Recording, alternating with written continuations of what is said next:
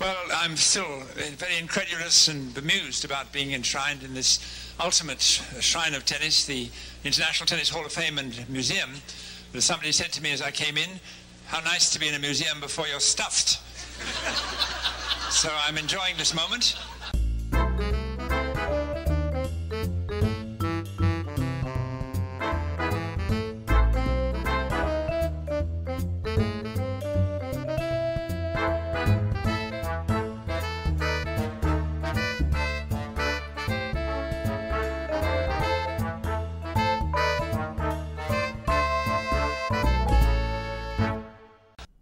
Everybody. Welcome back to the Body Serve. I'm Jonathan. And I'm James.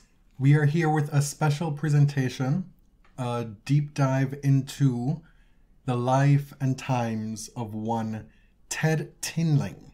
Cuthbert Collingwood Tinling, a special for Pride Month.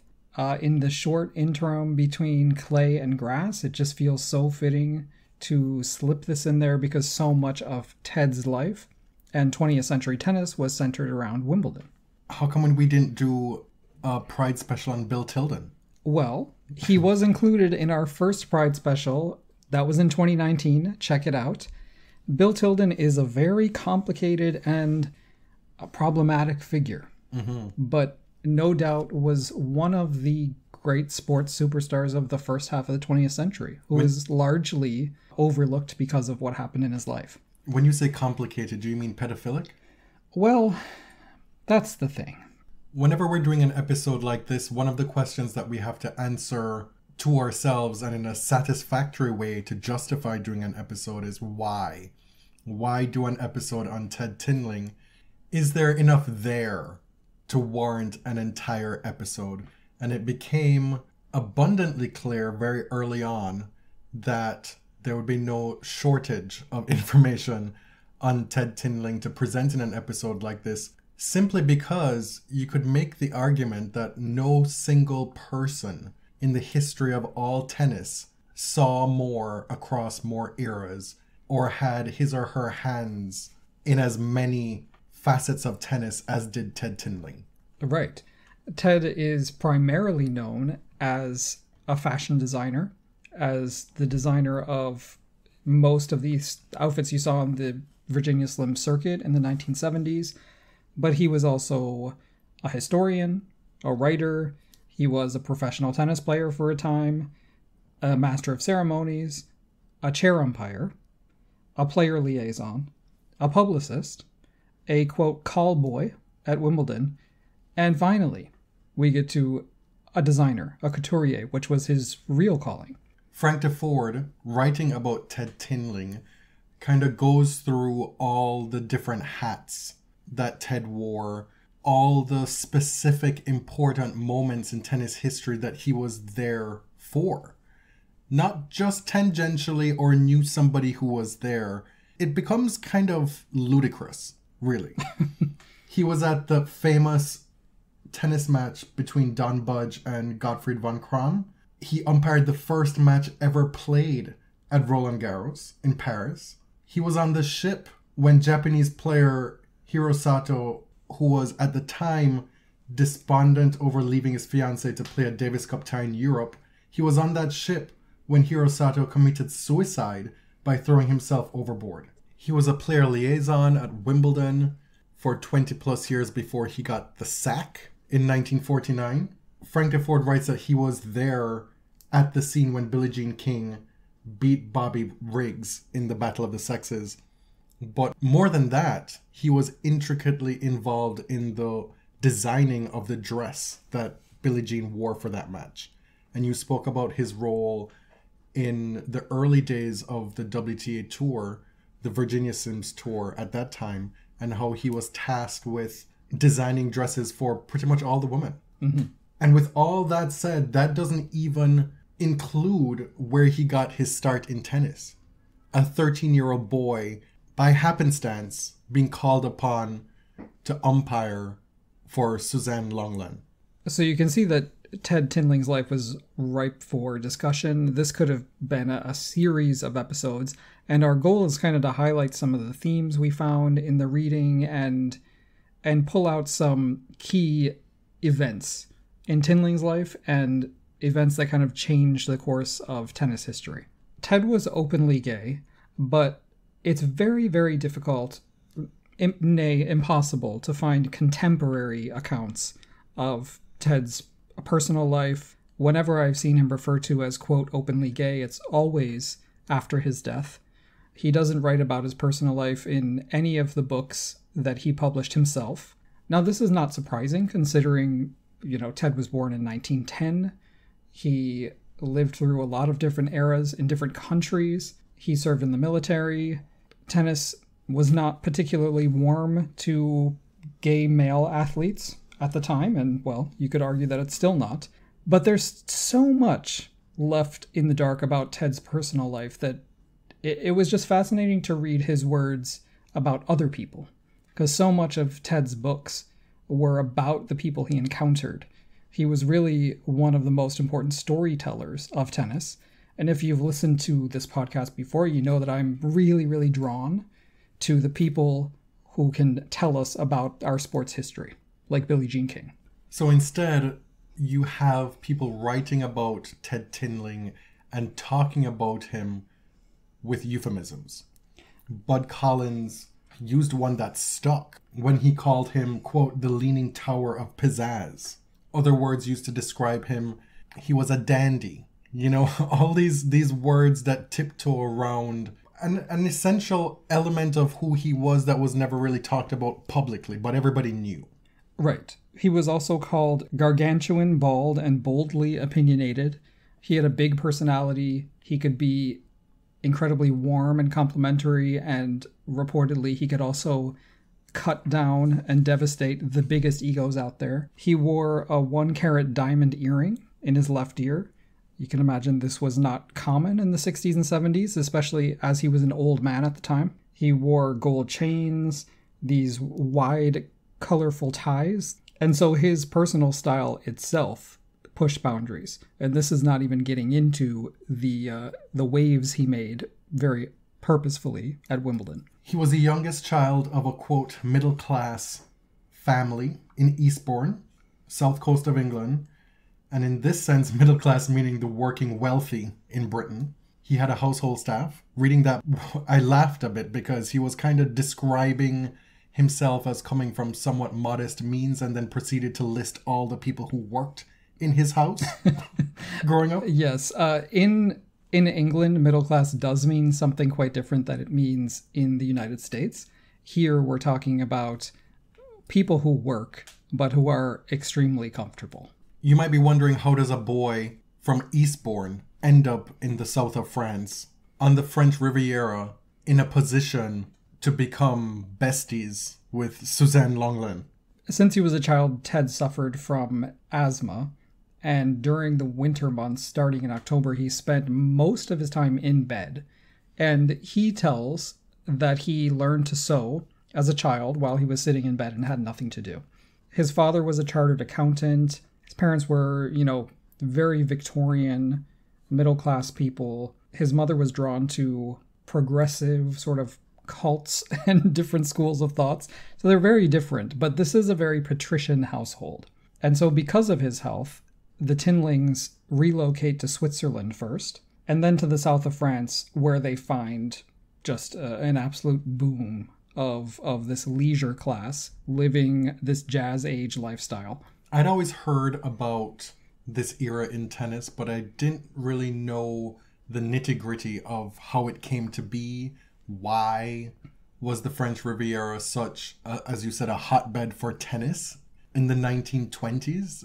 So explain to us how that came to be, because I think that's one of the important historical lessons that we can glean from this episode. Yeah. First of all, at the time, tennis was seen as a very English game.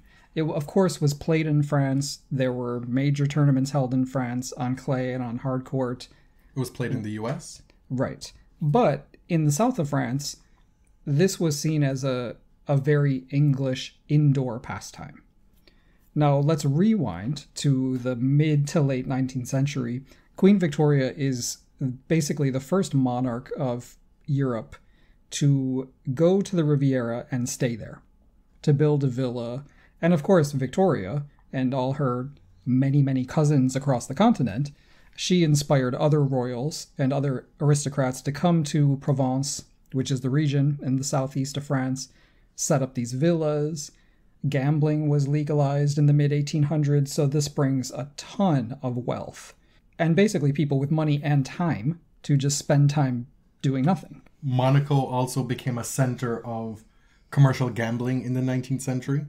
And so that also attracted a lot of wealthy visitors. And with the casinos being kind of a cultural center of social life at that time, and the prevalence of so many British people, these casinos started to build tennis courts at those casinos. So it really became kind of a destination for the British. Right. And of course, you know some of these tennis courts. There's the Monte Carlo site in Monaco. We're talking about cities like Nice, Cannes, Menton, just absolutely gorgeous places. The, you know, the artists Van Gogh and Cézanne were depicting the beauty of Provence at this time, and it uh, sort of obtained this mythical quality. Today, Paris is the center of tennis in France. It's where Roland Garros is, it's where the French Open is.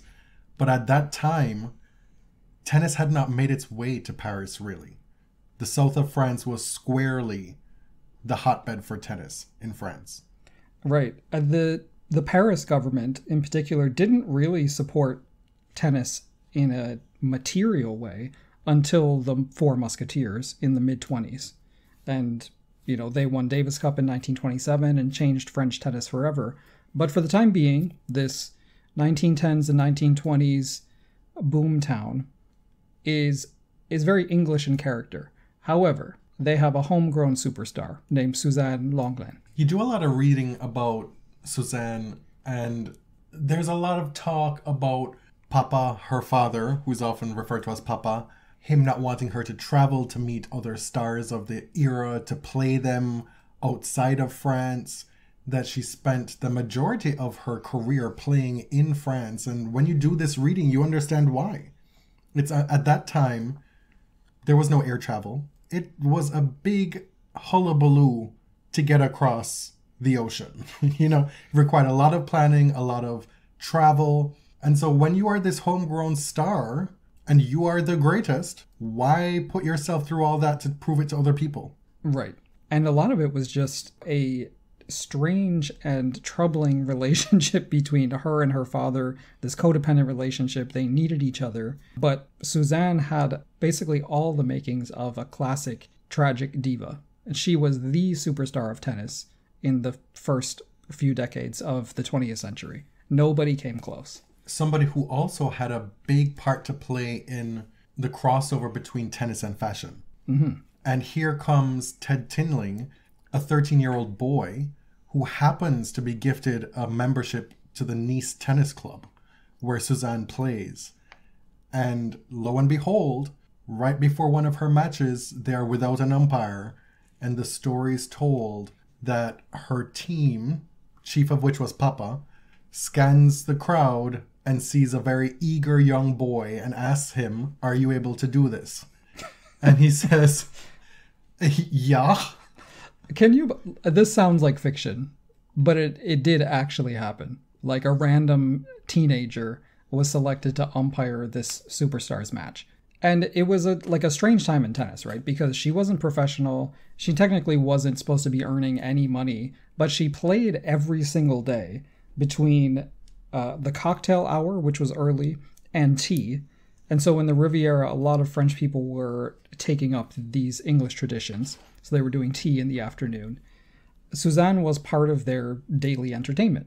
Now, after Ted was asked to officiate this match, he said that Suzanne, who was known to be quite imperious, was very friendly, that her father suggested that Ted continue to umpire all of her matches going forward, and for two years, for 104 matches, he was the chair umpire for Suzanne Lenglen.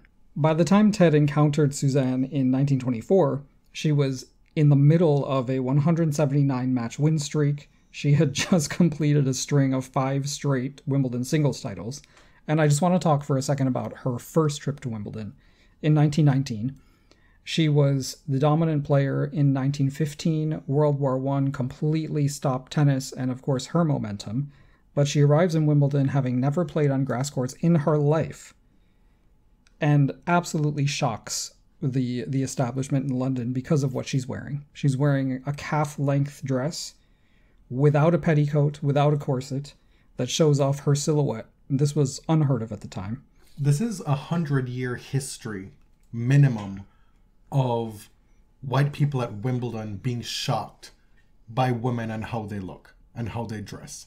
In doing this reading, I just could not stop coming back to how are we at that different of a place? Honestly. Well, right. Like, are you not tired of being shocked all the time? it's a clear pattern. It happens a lot. So, in 1919, women didn't show their ankles, they didn't show their arms. The women's locker room would be full of bone corsets stained in blood because they were so constricting and so painful that they actually drew blood from the competitors. As a kid, Ted grew up around Suzanne, someone who saw her tennis clothes as fashion, as theater.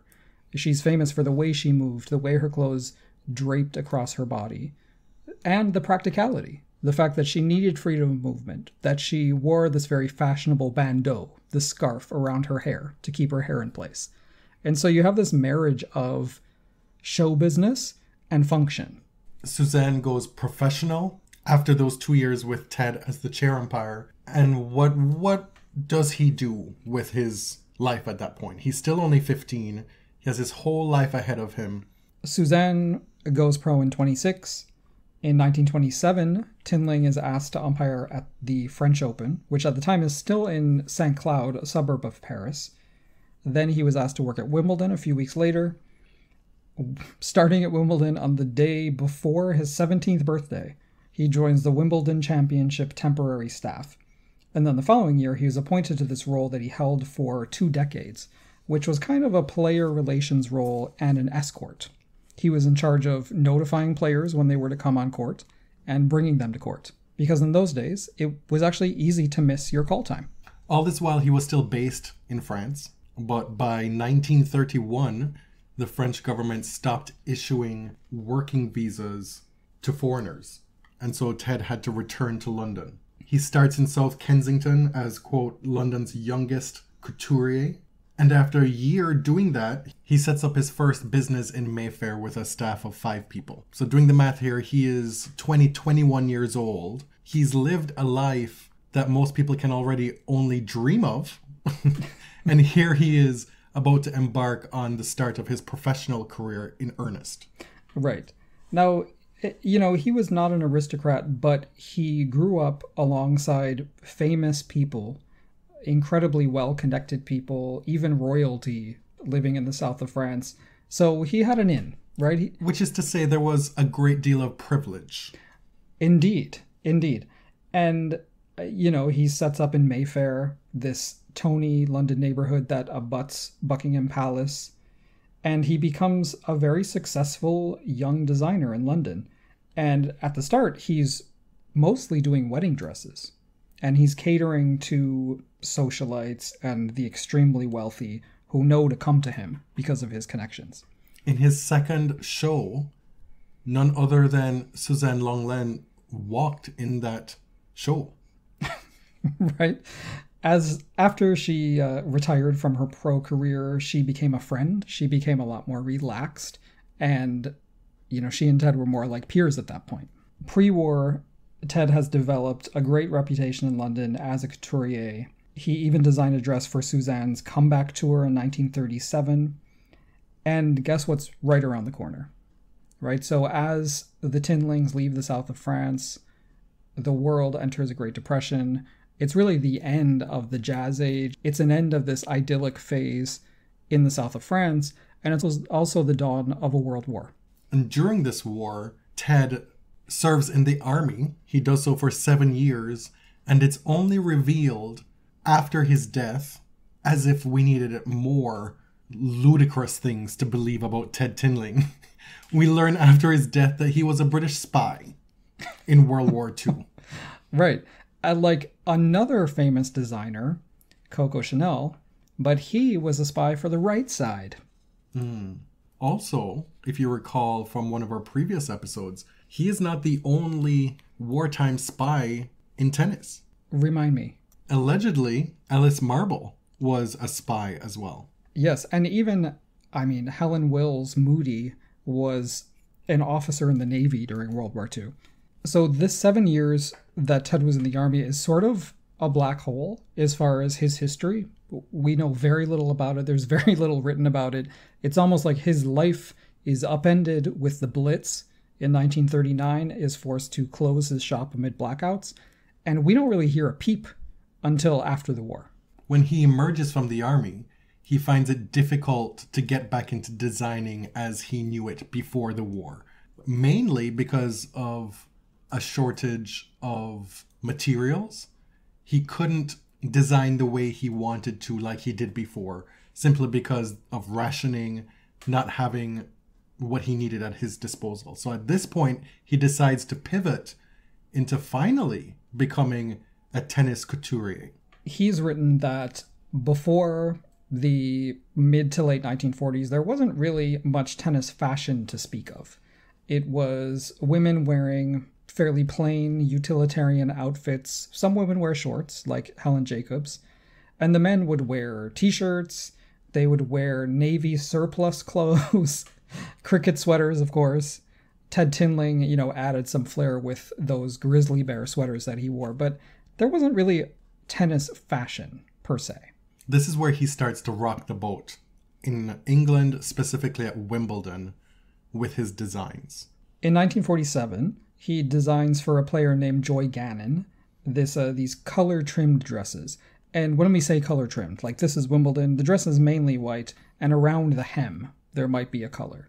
In 1948, this really blew up. So Hazel Wightman, who we could do another episode on, she's known as the Queen Mother of American tennis. The Wightman Cup, of course, is named after her.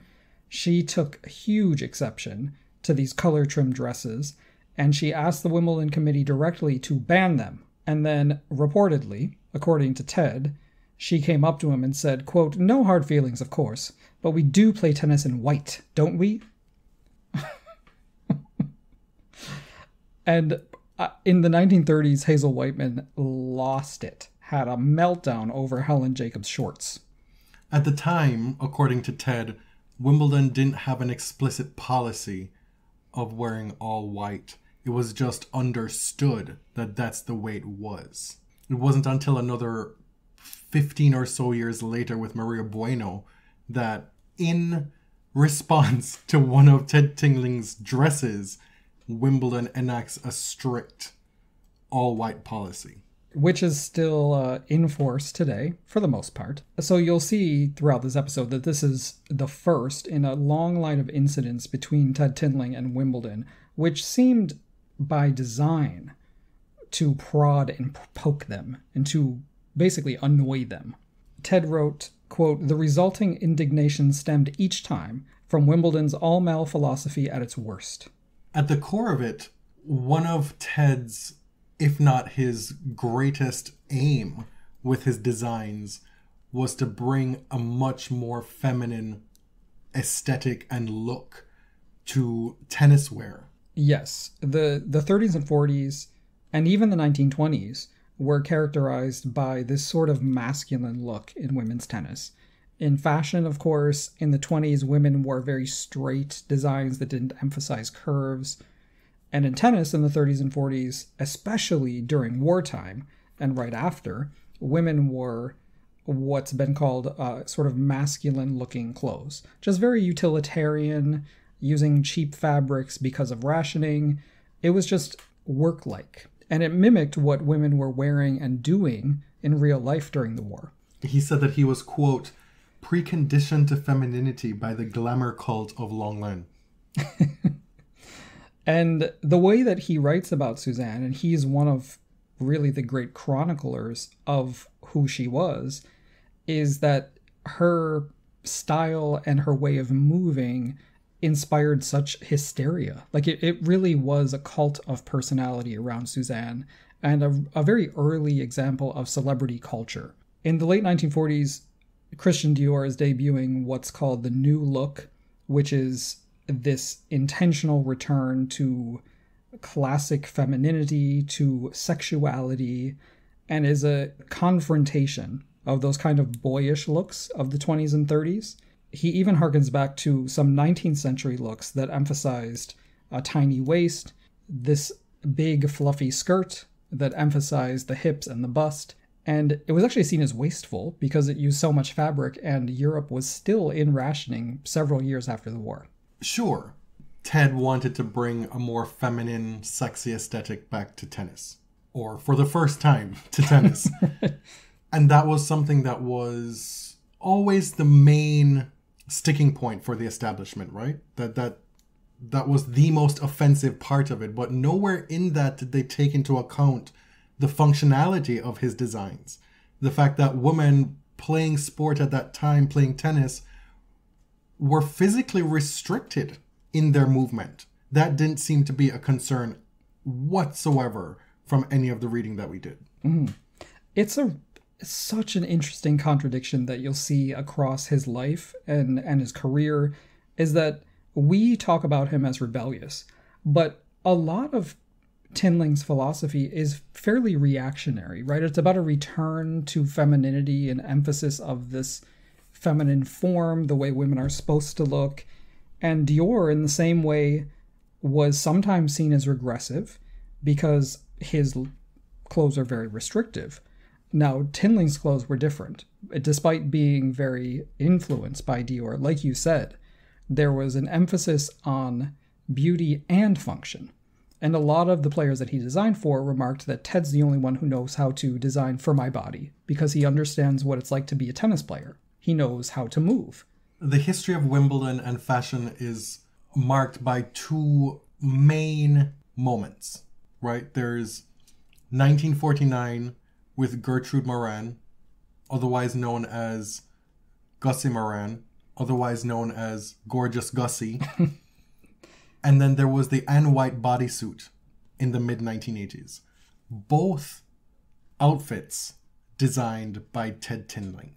We're talking about 37 years apart, a 37 year difference, and this man had his hand in both hullabaloos. in 1949, Gussie Moran reached out to Ted directly, wrote to him, and asked him to design for her. Now, Gussie at the time was seen as sexy in the Lana Turner mode. Like that was the fashion at the time, right? She was curvaceous. She was like a pinup girl, but she was talented. She was chosen by Bill Tilden to get coaching. She had powerful strokes. She had a lot of potential as a player. So, as I said, she had written to Ted Tinling, and in this letter to Tinling, she asked for color, and specifically, she asked for blood red, referencing, quote, her red Indian blood. And uh, that is a quote. I'm not saying that that is uh, how we speak these days. Ted took up the challenge, but he did fear a kind of last minute restriction by the Wimbledon committee. He designed this dress with white satin trim made of rayon. She was super excited about the dress, but she said, I need something to wear underneath because I normally wear shorts he responded that underclothes are not his responsibility. Nevertheless, she persisted. And this is where the quote lace panties were born. Yes, we're going to be saying the word panties more than probably ever in our lives. As far as panties go, they were pretty modest. Ted last minute sewed up these this garment with coarse cotton lace. I mean, you can search the internet, Google it, and you can find pictures of this. You can see a recreation of this undergarment. But the way it's talked about in this era, you would think she were wearing a thong. Mm, right. Like in right. today's parlance, these are granny panties. yes. Honestly. And the- it just so happened that it was trimmed around the edges with some lace. Right. Like how bored were these people? How repressed were these British people that this was such a shocking sight, mm-hmm. even in 1949? Well, and you'll see it again and again. These, and the thing is, like her skirt was pretty long. the skirt was shorter than most, but you only saw glimpses of these lace panties every once in a while. When she was lunging for a shot or bending over, the skirt typically covered them. And this is the picture that you see. Gussie Moran in motion, stretched out wide, and that's the only way the photographers are able to get a glimpse of what's going on underneath this dress. Uh, yes. It's it's absolutely perverse. Photographers literally lay prone on the ground trying to get upskirt photos at Wimbledon. Frank Deford said, quote, It's difficult to imagine, 35 years later, what an absolute fuss the entire civilized world made over gorgeous Gussie's modest underwear. For his imaginative angle work on the front lines at Court 1, an AP man, Associated Press, won Photographer of the Year honors for a photo of Gussie Moran's white mm. lace panties. I- I'm sure the composition was first rate, but wow. And I think, you know, we talk about Wimbledon all the time in the contemporary sense, but I think we have to acknowledge that this is a private club that was founded in the 1800s that has had a royal patronage since 1907, that has had a member of the royal family serve as its president from 1930 to this day. It's staffed, it at the time was staffed by aristocrats, by senior officers in military. This is the metropole of the world's largest empire at the time of its largest reach during the Victorian era. Right, but they also think that they're better than everybody Well, else. of course, uh, but this is explaining why. And one example of that that had me laughing and cringing was the whole business of the change from pre open era tennis to open era tennis. You had the championships, which were Wimbledon, you had the Australian championships, the French championships, and the United States championships. That's what they were called before the open era. 1968 happens, everybody changes their name. But oh no, not the championships, not Wimbledon. They are above it all. They have always been above it all. And that is what they cling to, the pearls that they cling to to this day. They are still known as the championships. Uh, technically, they are the British Open of tennis. They're the British championships. But uh, as whether you like it or not, reading through history, Wimbledon was seen as the premier tournament in tennis. It was the one that everybody wanted to win. It gave you prestige. And that's just a fact. Right. But my point here is to explain how, time and time again over the years, Wimbledon has bucked change, has resisted change mm-hmm. in an attempt to, quote, preserve its history. But it really is just self serving to maintain its supposed top dog spot.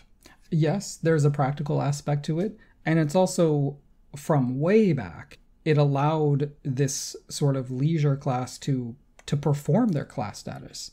During the amateur days, these were the gentlemen who didn't have to work. They didn't have to win because there was no money involved. They did it for the love of the game, you know, and that was the philosophy of amateurism, but it was reserved for a very specific type of person. Now, getting back to these Gussie Moran panties, what happened afterward, I mean, it just set off quite the fracas, as you can imagine. At a middle Sunday lunch held at Queen's Club during the tournament, a Wimbledon committee member got up and attacked Ted Tinling in front of everyone for his tasteless designs, accusing him of putting, quote, sin and vulgarity into tennis. But as you can imagine, reports of these panties drew large crowds, a huge media interest, as you mentioned, with the photographers. Even the Prime Minister, Clement Attlee, told Ted, quote, You've done a great job for tennis this year. At the Wimbledon closing cocktail party, Chairman Louis Greig admonished Ted publicly, saying, quote, Never shall we allow our center court to become a stage for designers' stunts. And at that moment, Ted decided, as he tells it, that it was mutually agreed upon that there should be a break between him and Wimbledon. Because at that point, he had been working there for some 22 years. Right. And I don't think we'll ever exactly know what happened. Historically, it's frequently told that Ted was banned from Wimbledon. And I think we've probably said it before. According to Ted, it was the result of a lot of soul searching on his part, and it was a, a mutual agreement for him to depart. And he thinks that the Wimbledon committee was enacting a sort of Cold War against him for several years. It started before the war. He was offered an apprenticeship to become the future secretary of Wimbledon. And the secretary of Wimbledon is, is essentially the executive director. It's a very high position. But he declined in favor of his fashion career. He also received a gift of very loud and wide neckties from Jack Crawford, and apparently wearing them was a huge mistake. And then, of course, Hazel Wightman's fuss over the color trim dresses in 1948. If you are to believe the stories and reports that Ted was banned by Wimbledon in 1949, Gussie's panties story was the final straw that broke the camel's back. After Hazel Wightman's complaints, after the loud neckties, after his initial problems the year before in 1948 with his first designs, they had had enough. If you are to believe that telling of the story. Right. If you were curious about where these lace panties ended up. According to Frank Deford, Ted Tinling told him that while cleaning out her mother's house after she died, some 30 years after she wore them, Gussie found the panties and threw them out without giving it a second thought. From the late 1940s right through till the early 1980s, Ted Tinling is the main tennis designer in women's tennis. So much so that from 1959 to 1979, 12 of those 20 Wimbledon women's champions lifted the Venus Rosewater dish in a Ted Tinling creation. Another of the iconic looks that I want to mention here is his 1962 dress for his friend Maria Bueno, the Brazilian star. He designed, of course, a white dress, again, this is Wimbledon, but it had a shocking pink lining on the inside. And shocking. Shocking. Was the color shocking pink or was it shocking that it was pink? B- both, I would say. And pink panties. And as you mentioned earlier, in 1962, Wimbledon officially banned color again. There was a temporary ban as a result of the Gussie Moran incident that was instituted in 1950. This was another official ban because of Maria Bueno's look. I loved this quote that I just need to drop in here from Ted. He spoke to SI and he said, They actually built up in their own minds that I had put the All England Club colors, purple and green, across Bueno's backside as a deliberate insult to them. That would be great had it been deliberate, but it wasn't. And this was in reference to her, quote, rainbow dress from 1965. Everybody who spoke about wearing Ted's clothes, all of the tennis players spoke about how he designed for their specific personalities. He didn't just willy nilly come up with a design and say, hey, go wear this. He took into account what type of player they were, what type of personality they had off the court. And of Maria Bueno, he said, quote, she had this fantastic brooding character, the impression of an imminent storm. Color had to be used somewhere. This is a thread that is fascinating to me uh, doing reading about Ted and building this episode is so many women tennis players said Ted designed for me. He knew me. And he had friendships with so many of them, right? He was great friends with Maria, Maria Bueno, the legend Elizabeth Ryan, Virginia Wade, and he said he could never design for someone unless he saw them play. And this is one of the departures with the current state of tennis fashion for women now. You mm-hmm. have this mass produced, ready to wear, off the rack clothing lines. And we say it and see it all the time when these slams roll around. What is she wearing? Why is she wearing that? And it's because somebody in some office has decided that this is what we're going to give these women to wear now. Yeah. Somebody at the the the top level, one of the players at the top of the rankings who may be the star for Adidas or the star for Nike may have some input in how they wear their dress. And that may trickle down to how the other designs from that line end up looking. But the majority of women don't really have that much say in the clothes that they wear on a tennis court anymore. And so that feeling of an outfit, a, a tennis dress, being designed specifically for me so that I can feel comfortable, so that I can feel happy wearing it on court. Mm, that's been one of the biggest changes in women's tennis fashion over the last 30, 40 years.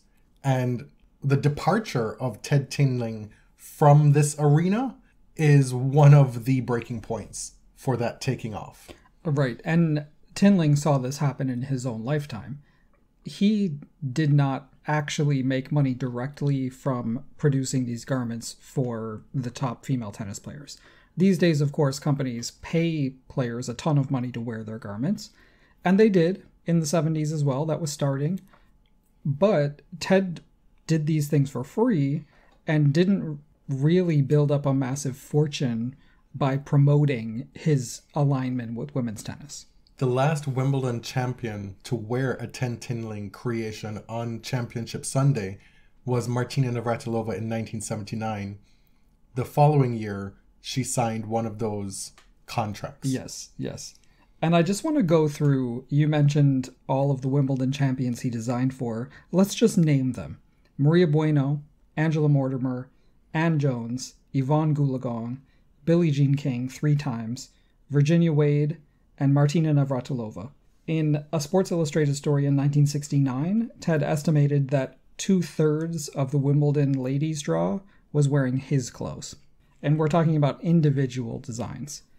You may recall when Ash Barty won Wimbledon last year, she wore a dress that was inspired by the dress that Evonne Goolagong wore in 1971 when she won Wimbledon. Mm-hmm. And that dress was designed by Ted Tinling.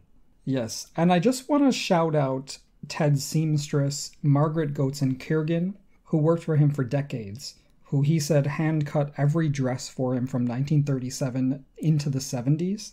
Uh, because, you know, this is a woman who's unsung in the story of Ted Tinling, and she actually did a lot of the, the hard work behind the scenes. When tennis goes open in 1968, women's tennis is struggling to get even the smallest piece of the pie. And so it comes as no surprise that somebody who's earned the trust of all these tennis stars over the years by creating things for them, by investing in them, by caring about their comfort and style, that Ted Tinling becomes somebody who is conscripted to do the same again going forward, building the Virginia Slims tour. Given his uh, propensity to kind of buck the the tennis powers that be, he was very proud and took very seriously his role in this women's tennis revolution. You may recall that he was portrayed in the film Battle of the Sexes. He was portrayed by Alan Cumming. It wasn't a great likeness, and it was a very small part, but I felt it was so important to get Ted's name in there because of what he did. I mean, they didn't even try to get a likeness in this role. No. you could not have been more off. The only similarity is that they were both British. Yes, Ted was six foot seven and bald. But in these early days, uh, Ted writes with immense respect and admiration for Gladys Heldman, who really led the charge alongside Billie Jean King to found the Virginia Slims Tour to hook up with the CEO of Philip Morris to get this huge investment in the first few years of the tour. And in those days, as you probably know, the players themselves were responsible for promoting the game. They were going city to city. It was like this road show, and they were trying to drum up support and even sell tickets in parking lots. And Tinling, you know, came from a much tonier, fancier place and era felt that he had a responsibility to make women's tennis a spectacle, to prove like the players were doing, that women's tennis was just as entertaining and just as valuable as men's tennis. And this was an opportunity afforded him in his early 60s. This is somebody who had made his mark in tennis for decades up to this point, and when most folks are slowing down, he is now revving up again. Yeah, this is something that finally hit me a few days ago was that so many of the visionaries, you know, the cultural visionaries, Paul McCartney, like everybody, Aretha Franklin, like they made their greatest, most revolutionary contributions in their 20s and sometimes 30s. Stevie Wonder. Right. And Ted Tinling is nearing the age of retirement and is still making history. What the Virginia Slims tour offered him was an opportunity to finally incorporate color whenever and however he wanted. You mentioned previously that he said that he would never dare dress a player without seeing her play. He also said that confidence is probably what makes the difference between a victory and a defeat. If a woman feels that she's prettier or better dressed than her opponent, nothing can stop her. I mean, and, this is a bit. It, these are the contradictions that you find when you learn about somebody who was born in 1910 and came from a very conservative class and era is that there are there are a lot of contradictions in the way he talks about women which today and even then by some of the women he designed for was probably seen as pretty regressive and in some cases reactionary but at the same time he clearly had an immense respect for what these women were doing of that 1971 dress that Evonne Goolagong won Wimbledon in, he said, quote, At times, I felt I was grappling with a ghost, trying to grasp the essence of her elusive personality, so as to interpret this in her dresses. The real answer is that Evonne's beauty lies in the exquisite grace of her movements. When she is still, it seems impossible to capture her true identity. Like, this is the mind of an artist. And this is a dream for some for a woman to work with in creating right. outfits for her to play tennis. Where where it becomes a little bit frustrating looking back at it now, that previous quote about, you know, confidence is when a woman feels that she's prettier or best, better dressed than her opponent. Maybe confidence is knowing that I can feel comfortable in this actual physical garment on court, regardless of what I look like. The fact that it looks cute is a bonus as well, you know? I think we have developed different ways to talk about this same phenomenon. Whereas you see the body itself as a place of empowerment, rather than I'm prettier than this person, players have have realized this is the body that I live in that I've learned to love and I've found a garment to to make me proud of it. You know, like I I think that quote has taken on a different cast in modern tennis. In 1973, Ted Tinling designed the dress that each of the four slam winners wore. And so when Billie Jean King takes it upon herself to play Bobby Riggs in the Battle of the Sexes, after Margaret Court famously lost in the mm. Mother's Day Massacre. Ted looks at it as his opportunity for a Tinling slam. you know, like a golden slam with the Olympics. Mm-hmm. He will have won all four slams plus the Battle of the Sexes if he can get Billie Jean King wearing something that gives her the confidence to beat Bobby Riggs. Yes. Uh, Riggs challenged Billie Jean King, and she was famously very reluctant. She was mad that Margaret Court even accepted the challenge, but she knew eventually that it was important that she play this match. It, you know, at least for her, that it was important. And if she lost, that it had the potential to be a catastrophe for the women's tennis experiment.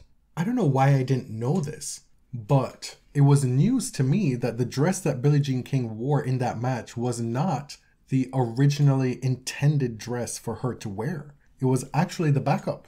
Yeah.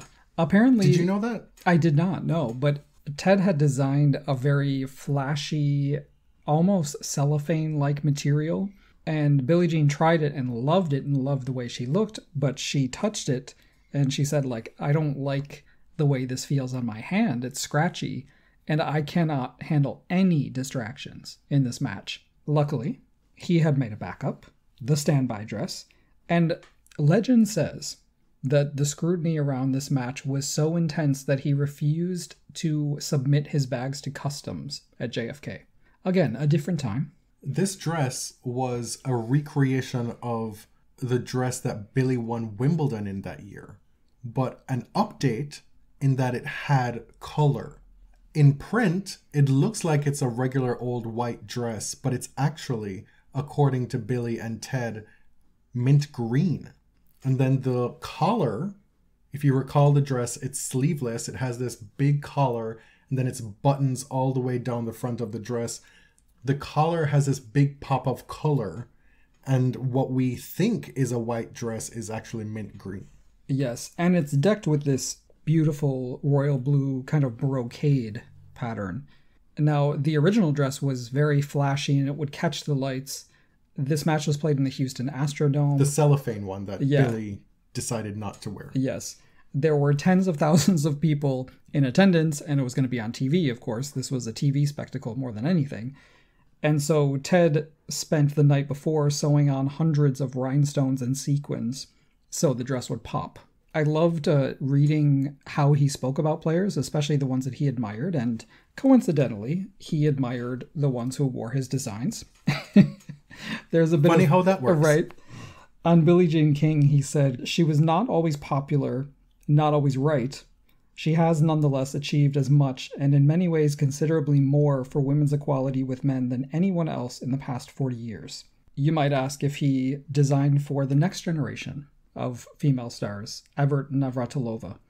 And he had never designed for Chris Evert until he was asked to design for the 1978 Fed Cup team. And shortly after that, Chris Evert asked him to design her wedding dress for her marriage to John Lloyd. And at that point, it was the 14th wedding dress that he had designed for a tennis player's wedding. I mean, th- he was in his bag with wedding dresses as well because that's what he initially started doing. Yes. It wasn't until after World War II that he started designing tennis dresses. He designed for Martina from 1974 to 1979. And you know, her her career as a Grand Slam winner didn't really pop off until the mid to late 70s. So she won in Tinling Designs in 78 and 79 in Wimbledon. And she left for a big contract in 79. And this is where the wind was blowing, right? Ted competed with Fred Perry throughout his life. Fred Perry was a close friend of his and then a fairly fierce rival as a designer.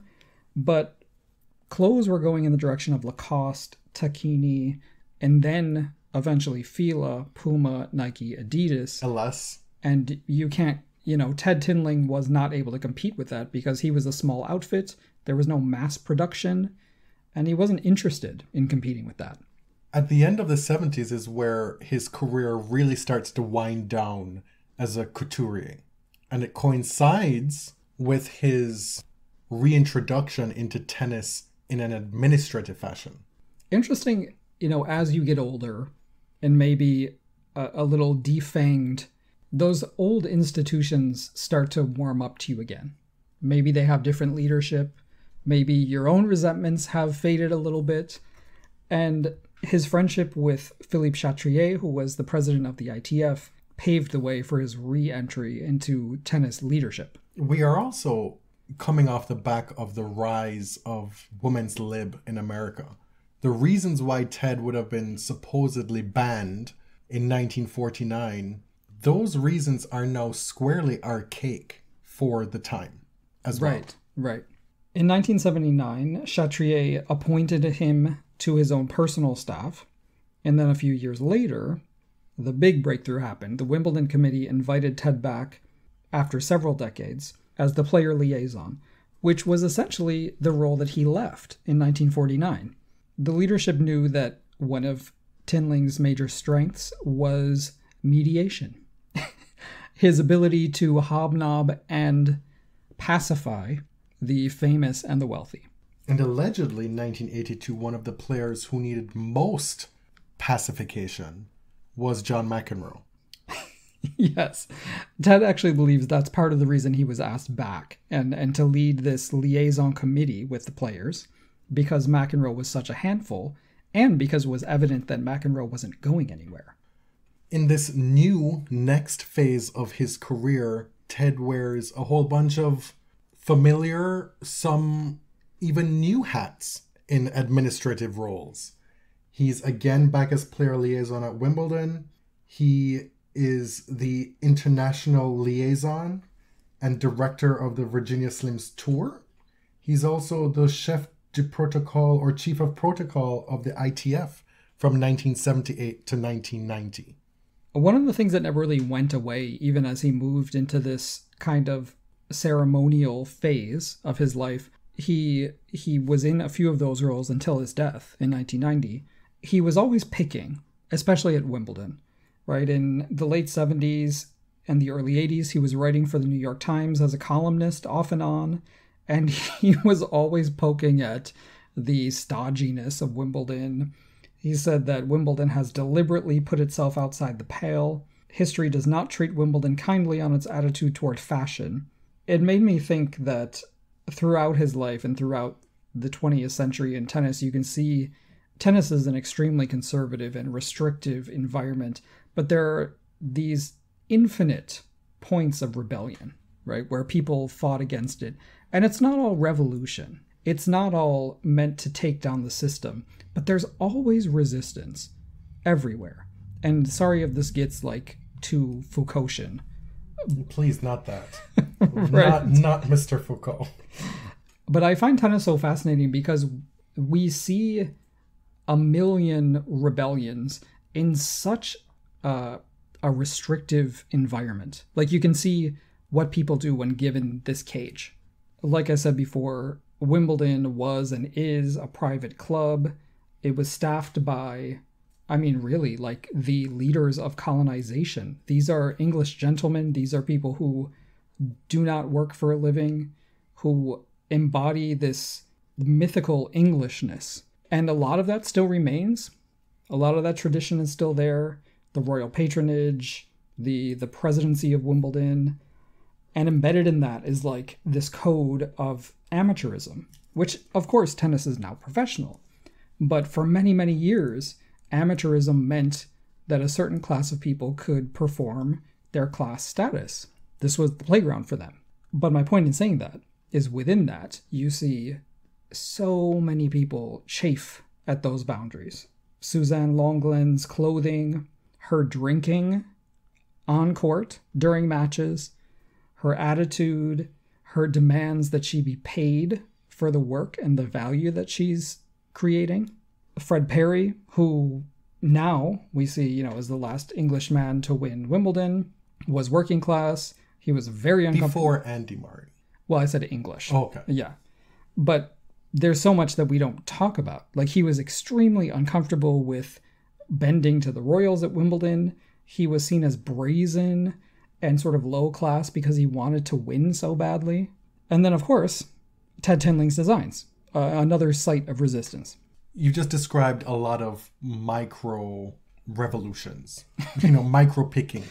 Sure. That, you know, over time can pick away at the master's house, but it doesn't really do anything to destroy it.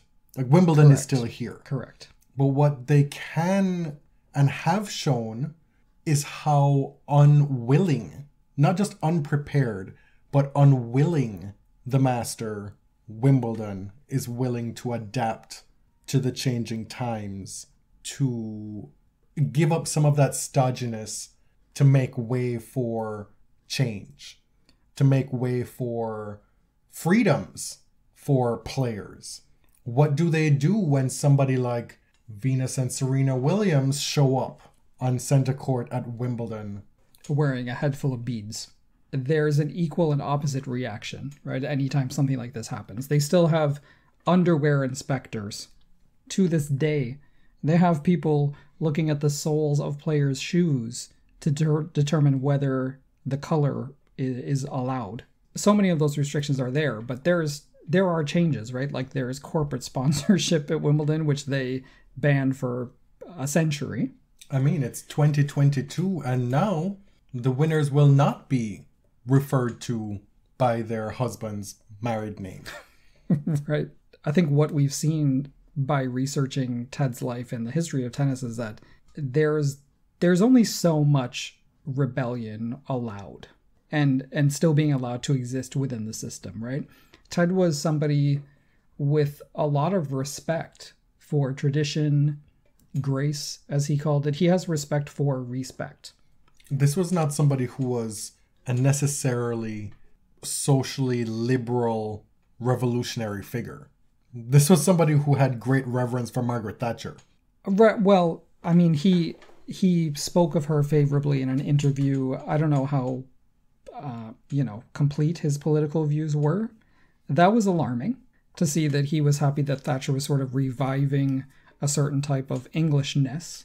He said a few things about feminism that kind of made me cock an eyebrow. you know, he said America's influence has produced a mentality of misguided equality. The idea if you serve and volley like men, you can be equal to men. I've never thought anybody should copy anybody else.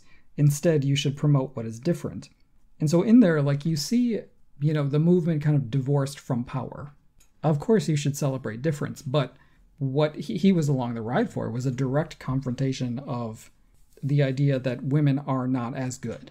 And Billie Jean and the original Nine argued, well, we may not be able to beat all the men, but we're just as good. The product is just as entertaining, and we deserve to be paid. 1986, Ted Tinling is celebrated for his then 65, almost 65 years in tennis with an induction into the International Tennis Hall of Fame. During his induction, he says, quote, I'm very incredulous and bemused about being enshrined in this ultimate shrine of tennis, the International Tennis Hall of Fame and Museum. As somebody said to me before I came in, how nice to be in a museum before you're stuffed. and Ted continued his work in the ITF and the WTA throughout the late 80s, and he passed away in May of 1990 after suffering for a few months with respiratory problems. And you remember that he had respiratory problems as a child as well. It was very shortly before his 80th birthday, and before his death, he predicted that Martina Navratilova was going to win Wimbledon that year, despite her decline, despite the rise of Steffi and Monica, and he was right. So, this Pride Month, we decided to bring a spotlight to the life and career and contributions of one of the many queer people who've made indelible contributions to the sport that we love.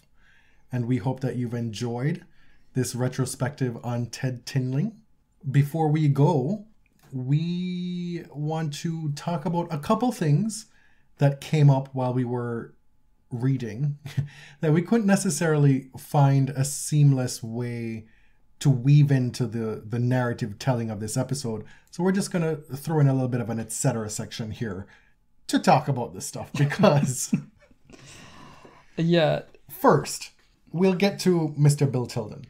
But Elizabeth Ryan, this has to be one of the most fascinating people in all of tennis history. This is somebody who lived all the way till the age of, I think, 87. She was Suzanne Lenglen's longtime doubles partner. They won a whole host of slam titles together in doubles. They were unbeaten for years at one point. Such a formidable duo they were, and they were great friends.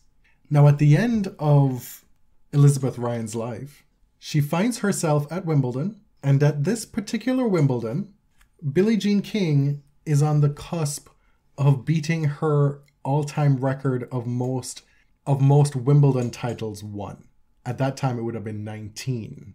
Of course, this includes singles, doubles, mixed doubles. And to say that Elizabeth Ryan was not fond of this occurrence is an understatement. you need only go to Elizabeth Ryan's Wikipedia page to get a perfect summation of what went down. In 1979, Elizabeth Ryan was present for Wimbledon for the possibility of Billie Jean King to pass her record of 19 Wimbledon titles. Elizabeth was 87 years old, and Bud Collins tried to arrange an interview for TV between Ryan and King, and Elizabeth Ryan said no thanks. Billie said that, quote, I always liked seeing Miss Ryan at Wimbledon and I tried to be friendly, but she didn't seem to want it. For me, it wasn't personal. Sure, I wanted the record, but I wasn't trying to steal a possession of hers. There is no doubt in my mind that she just didn't want to be alive to see her record broken. And reader, she died.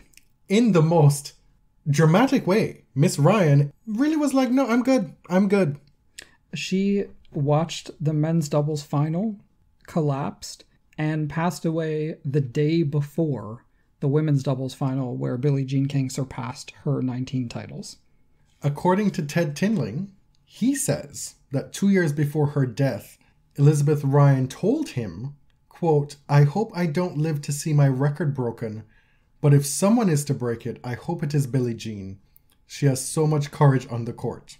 She had seen enough. mm-hmm. I love that. And Ted wrote so much about Ryan's playing style and how she basically introduced the Serve and Volley game to Americans tennis and perfected it. And so Billie Jean King is in in a long line of great American serve and volleyers like Ryan. Mm-hmm.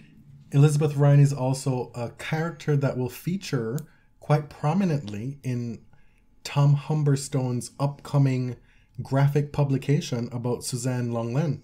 Yes, stay tuned out this fall. Who knows? There may be some kind of collaborating happening there in the next little bit between us and Tom. More so than just the wonderful graphics that he designs for us. Yeah, there's been a lot of collaboration so far. I mean, you don't have to be cute about it. We'll probably have Tom on the show and talk to him. Finally, fine after all these years of working with Tom. You mentioned earlier kind of the elephant in the room, Bill Tilden, right? One of the really the great American sporting stars of that golden age. This was the age of Babe Ruth, Jim Thorpe, the 20s and 30s. And Tilden, in many ways, unless you're in tennis, is the forgotten star of that age. And there's a pretty specific reason for it because when he retired from tennis, he got into some legal trouble for soliciting underage boys. Mm-hmm. I mean, to be clear, he also seemed like he was an asshole. Yes, there's that, that too. Right. Yeah. Tilden was a superstar. He despised Suzanne Lenglen for some reason, like hated her, wanted her to fail. He was close friends with the American Molla Mallory, who was one of Suzanne's rivals, and who Suzanne typically beat. And so that's where he comes into Ted Tinling's story. But Ted does talk about how Bill Tilden's homosexuality was a very open secret at the time. He also described himself, Ted, as being a little bit more open minded than most about predilections, or predilections, got, yeah. stuff that he got himself into, and then segues into talking about how it was widely known that Ted had a 13 year old boy shacked up with him who would just be sitting on his lap. Yeah, so Tilden had this habit of basically picking teenage boys as doubles partners.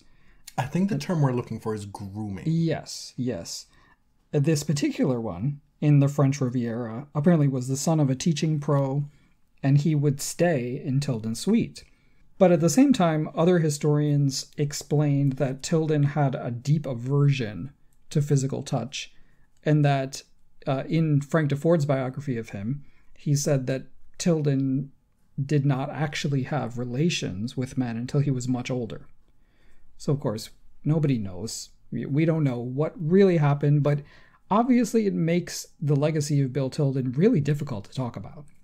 Yeah, it would be nice to sit here and say, well, oh wow, we have this great gay icon at the onset of global tennis to now celebrate here in Pride Month 2022, to look back on with fondness, with sadness for all the things that he went through. But that's just very complicated by the not knowing the extent of what happened. Mm-hmm. But Tinling points out that Tilden's class status shielded him from a lot of homophobia, especially being in France at the time. He said that French culture sort of looked upon that as don't ask, don't tell. I mean, we're we're even talking about the possibility of being with underage kids, right? That he was shielded from criticism and from the law because of his sort of not only his celebrity status, but his patrician Philadelphia kind of he was part of the Philadelphia gentry essentially. He grew up in Philadelphia cricket clubs. Like this is the absolute elite of East Coast America. These were also two gentlemen who grew up at a time where Hollywood was very much intertwined with tennis. Yes. And so there's a, a certain safety net, as tenuous as it is and was, that's built in with that relationship, mm-hmm. whereby you can still move in certain circles, but there are also gay men in Hollywood who are in the same position, who have benefited from the kindness and protection of women Mm. in Hollywood and in tennis. Yeah, and I think if you look at these two men in parallel, you see different queer stories, right? You you see a very familiar story at the time of a successful gay man dying in destitution, in poverty, and in notoriety, essentially. And then you see someone like Ted Tinling, about whose personal life we know very, very little, but who was basically allowed to live as a lovable dandy, as a someone who everyone knew was gay, but it seemed wasn't really talked about very openly, but was allowed to, to flourish and live a very full life. he also lived longer to be able to experience that in the public. Yes. Before we go, I just want to recognize some of the sources that we use that were very helpful for this episode. Obviously, Ted Tinling's books, the primary sources here, Frank Deford, the sociologist Christy Treadway, whose article about Ted was extremely helpful. Former tennis player, former professional tennis player who was coached by Rosie Casals. Really? Yes. One of the things, if you decide to go back and do your own kind of looking into this stuff, one of the things you should absolutely do is find pictures of Ted's dresses. There's a lot of information on that. There are a lot of galleries online. So many of these tennis players donated their Tinling creations to museums, and so they're available for us to now to go back and look at. And while some of them are, are curious, a lot of them are stunning. Yeah. The Australian Tennis Museum, uh, will link to this. They put together this gorgeous infographic with Google Arts and Culture, and I recommend viewing it on a desktop because you can kind of scroll through the photos. The graphic design is just really nice. Thanks for sticking with us through this episode. We hope you learned something from it like we did. My name is Jonathan. You can find me on Twitter at tennis underscore John. And I'm James at Elliot JMR. Two L's, two T's. You can find everything body serve related at linktree.com slash thebodyserve. Thanks for listening. Till next time.